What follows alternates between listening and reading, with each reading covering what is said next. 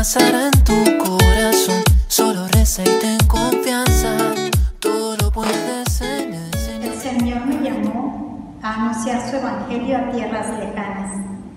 Con temor y, miedo, y con miedo respondí a su llamado.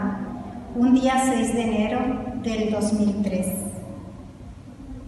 Iba muy contenta a querer recorrer esta nueva esta nueva oportunidad que el Señor me da de anunciar el Evangelio, invitándome a ir al África, en un país llamado Chad, donde pude compartir mi experiencia de Dios con las gentes que ya me esperaban allá.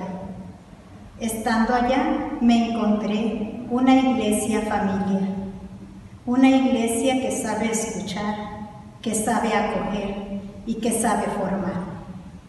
Esta iglesia me ayudó a descubrir en ellos unos hermanos, los cuales Dios ha puesto en mi camino para lograr en mí su proyecto.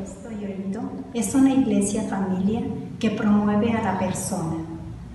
Es una iglesia que busca que sus, sus laicos, sus misioneros, se formen, ofreciéndoles un curso de introducción a la lengua y a la cultura para poder eh, ayudar a sus, a sus misioneros a inculturar el Evangelio.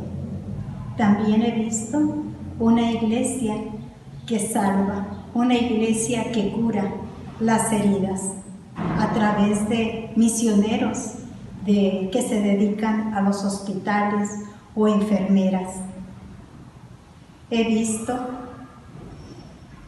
centros de formación para promover a la persona, para ayudarlos a descubrir cuáles son sus cualidades, sus actitudes, para ayudarlos a aprender a, a mejorar sus siembras, a, tener un mejor desarrollo de sus habilidades en cuanto a carpintería, en cuanto a sastrería y, otros, y otras actividades que les puedan proporcionar un mejor estilo de vida.